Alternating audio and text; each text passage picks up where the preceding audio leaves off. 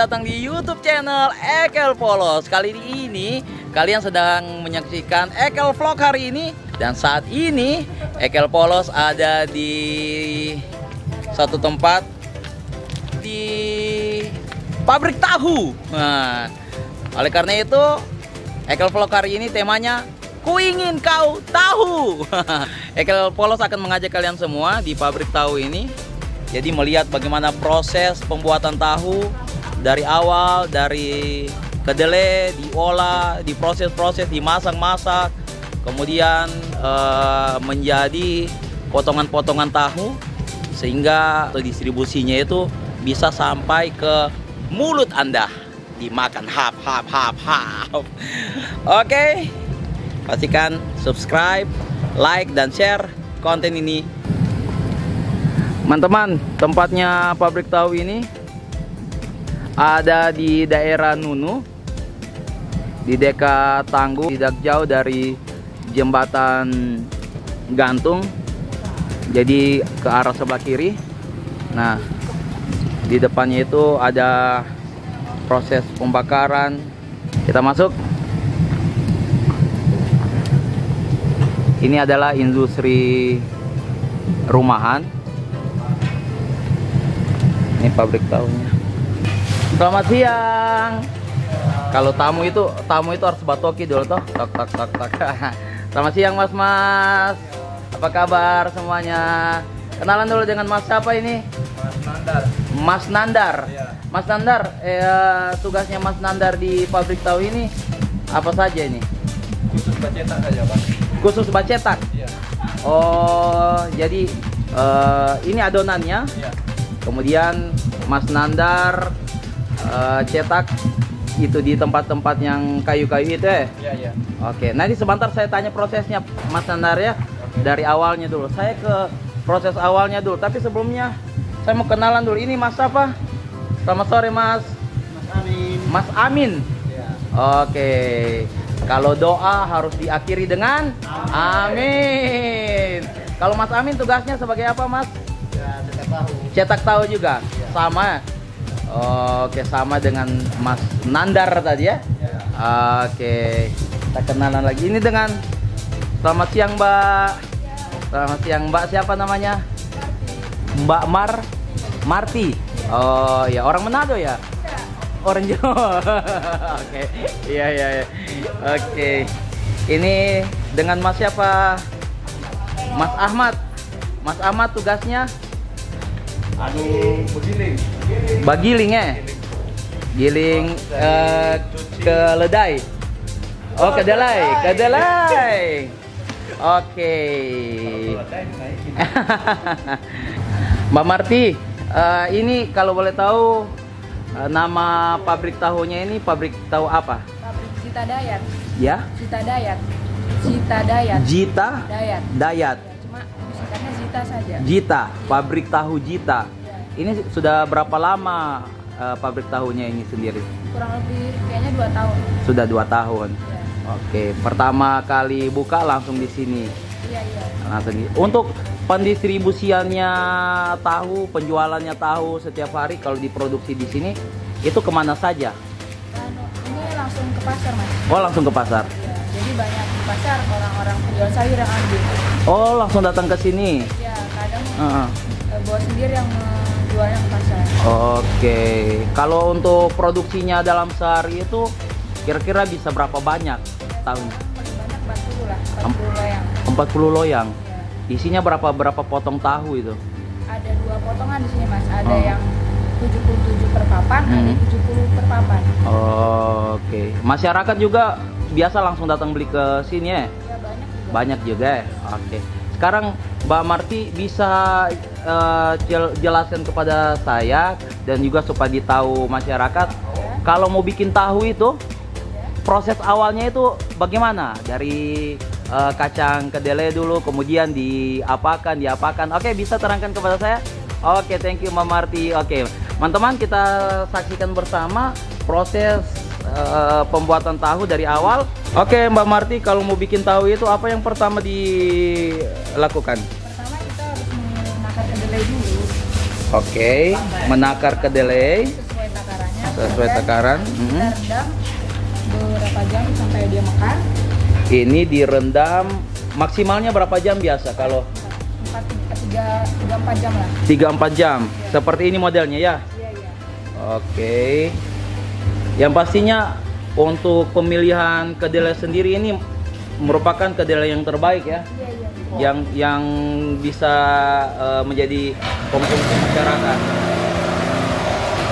Oke.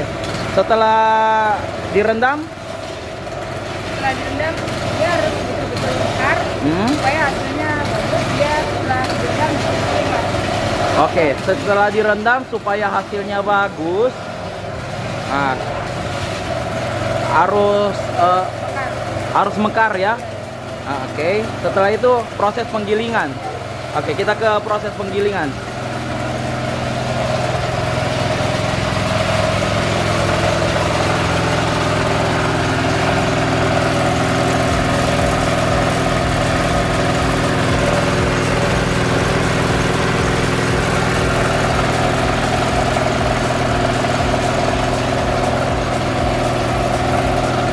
Mas, ini proses penggilingan ya.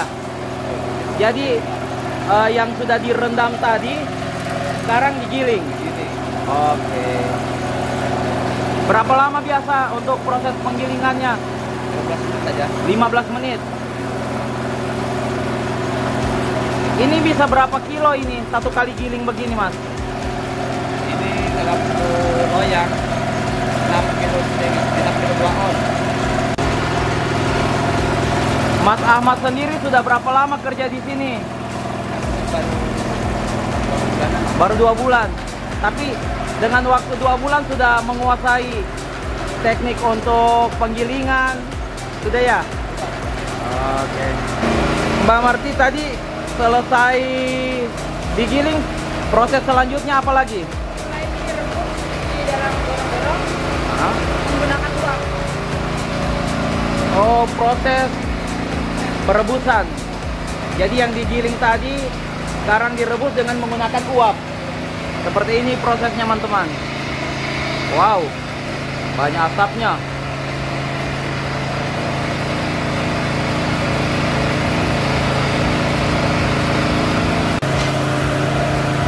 Mas, untuk proses perebusan sendiri bisa memakan waktu berapa lama, Mas? Ya? Dan 15 menit. 15 menit. Itu supaya apa, Mas? Supaya mekar. Yang digiling tadi itu supaya mekar. Oke. Ini belum jadi tahu, Mas ya. Masih kedelai ini.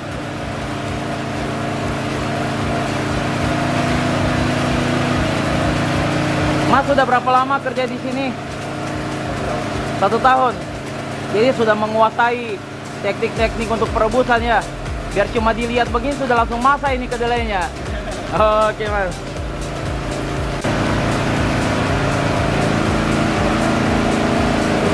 Setelah proses perebusan, ini adalah pencetakan. Mas bisa dilihatkan dulu proses pencetakannya. Oh kedelai tadi ini sudah sudah Pak. sudah direbus, kemudian sekarang tinggal dicetak ya.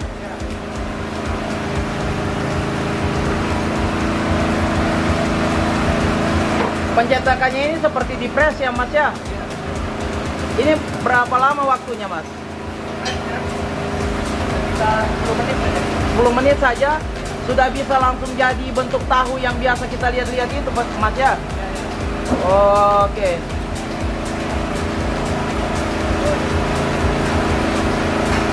Oh, mesti ditutup begitu ya? Hmm. Itu tujuannya supaya di press seperti itu untuk apa, Mas? Supaya bisa Pak. Bisa terbentuk ya. Oh, ini pakai dongkrak juga ya? Kiranya mobil saja yang pakai dongkrak. Tahu juga pakai dongkrak ya. Enjoy ya, Mas ya, kerja di sini. Oke. Terus ya. Ini penyaringannya. Ini adalah penyaringannya. Oh, dari tadi kacang kedelai yang sudah direbus, disaring di sini. Ya, digiling, direbus, terus Iya. disaring. Ditaring kemudian dibuka dibuka baru dicetak. ya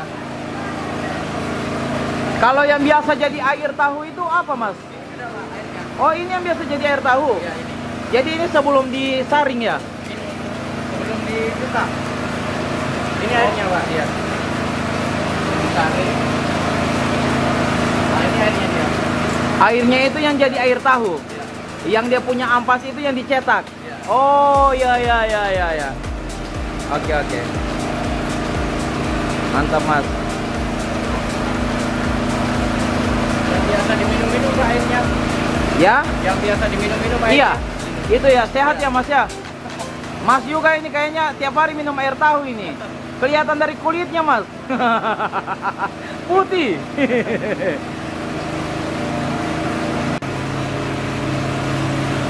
Teman-teman, ini adalah hasil cetakan.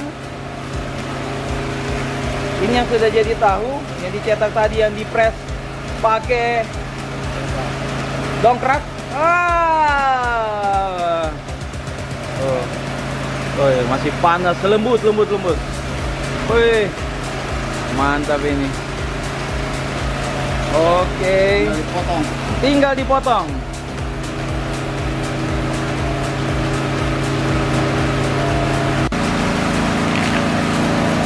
Teman-teman, setelah proses tadi mulai dari timbang, direndam, kemudian digiling, direbus, dicetak. Nah, ini adalah hasil cetakannya. Wow, saya bisa langsung pegang tahu yang masih baru, masih panas-panas. Satu balak begini, Mbak Marti bisa berapa potong? Kalau ini 70 mas. 70. Oh, ini yang 70, isi 70 tadi. Untuk harganya sendiri, kalau dibeli langsung di sini per potongnya itu berapa, Mbak? Dia 5000 mas. 5007. Mbak Marti, terima kasih banyak ya mas. buat informasinya. Terima kasih ya, Mas. Untuk informasinya. Terima kasih. Sukses selalu. Dan sebelum saya pulang, saya pamit. Saya mau beli tahu ini sama Mbak Marti. Mbak Marti, Ya. saya mau beli tahu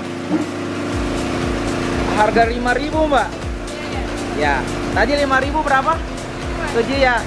Oke, disiapkan dulu kan. Beli tahu langsung di pabriknya.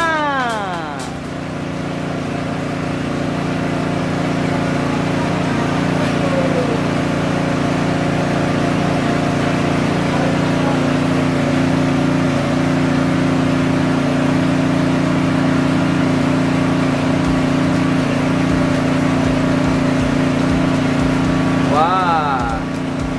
Ini masih ada, stok di sini.